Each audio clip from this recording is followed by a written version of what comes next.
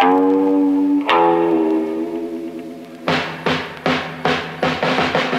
you ever called your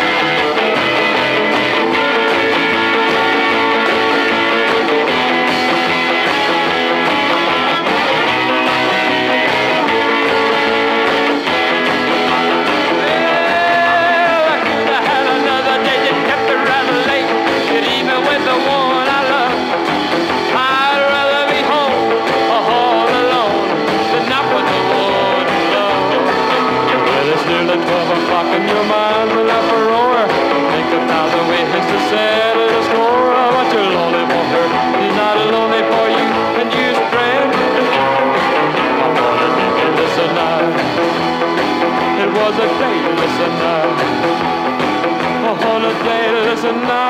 Uh, mm, a dirty listener. Uh.